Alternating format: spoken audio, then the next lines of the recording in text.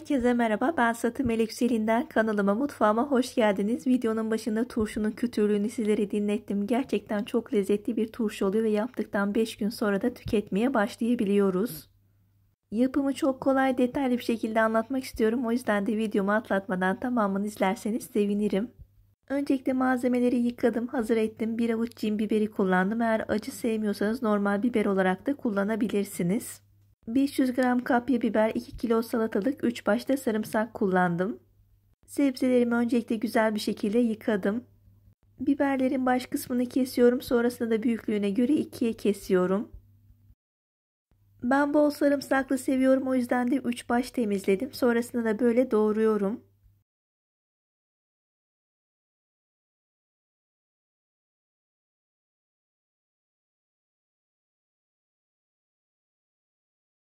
Bizim burada kırmızı biberler böyle dolma biber şeklinde oluyor. Sizler kapya biber olarak kullanabilirsiniz. Miktar olarak da 500 gram. Öncelikle çekirdeğini çıkartalım. Sonrasında da böyle irili ufaklı doğrayalım.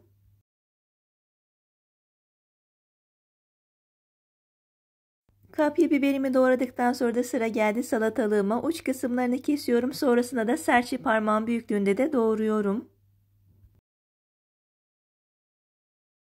Tamamını doğrayalım ve hazır hale getirelim.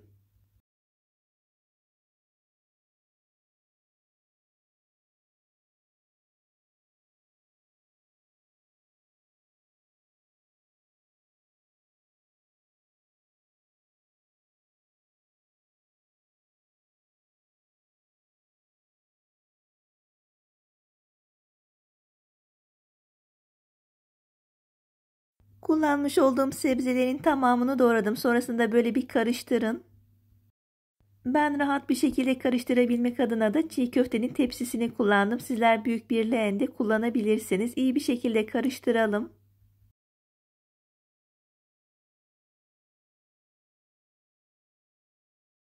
Orta kısmını böyle boşalttım. Sonrasında kavanozu tam ortaya koydum.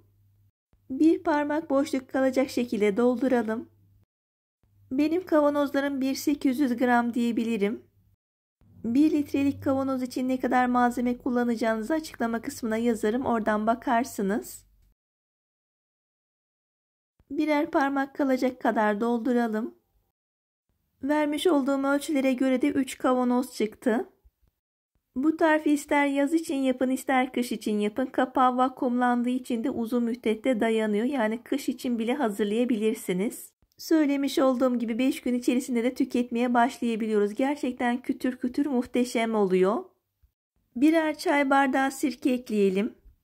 Ben sirke olarak üzüm sirkesi tercih ettim ama sizler isteğe bağlı elma sirkesi de tercih edebilirsiniz. Hepsine birer çay bardağı olacak şekilde ekleyelim.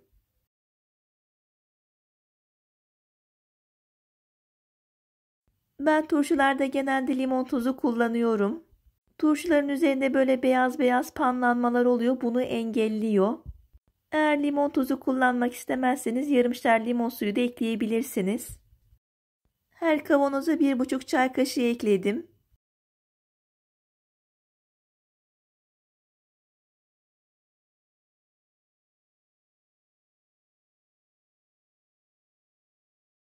Ben birer de küp şeker ekliyorum. Şeker turşunun asitlenerek bozulmadan uzun süre dayanmasını sağlıyor. Turşularınızda mutlaka kaya tuzu kullanın. Ben genelde turşunun tuzunu 1 litreye 1 yemek kaşığı olarak hesaplıyorum. Kavanozumda 1.800 olduğu için de 2 yemek kaşığından biraz az ekledim.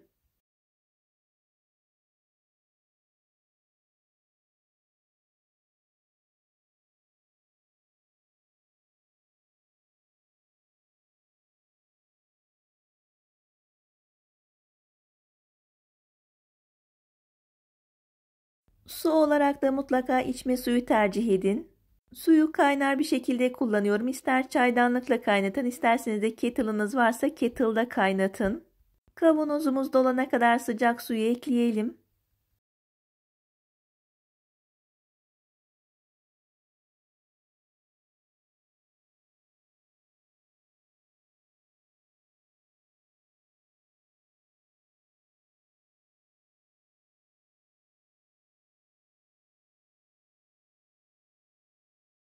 Üçüncü kavanoz için su yeterli gelmedi. Tekrardan su koyuyorum kaynaması için. Üzerlerine birer dilim de limon ekleyelim ve kapağı sıkı bir şekilde kapatalım. Ters çevirelim.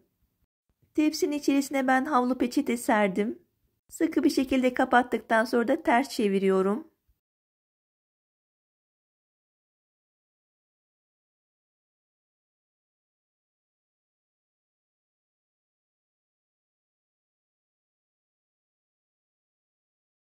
Üçüncü kavanozum için su yeterli gelmemişti. Tekrardan su koydum kaynaması için. Kavanozumuz dolana kadar suyu ekleyelim.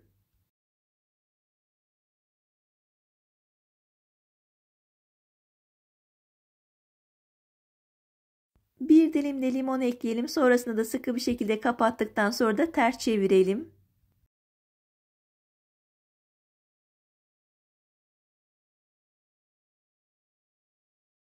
Yoğurt mayalarken nasıl üzerine örtüyorsak bunu da üzerine bu şekilde örtelim ve bir gece kadar bekletelim.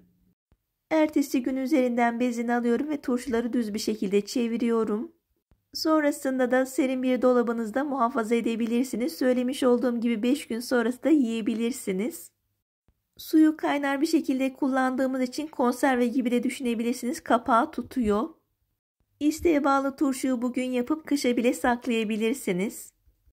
Kesinlikle denemenizi öneriyorum. Bugün de tarifimin sonuna geldim. İzlediğiniz için teşekkür ederim. Bana destek olmak için kanalıma abone olmayı, abone olduktan sonra bildirim zilini açmayı unutmayalım. İzledikten sonra beğeni ve yorum bırakırsanız sevinirim. Yeni tariflerimde görüşmek üzere. Hoşçakalın.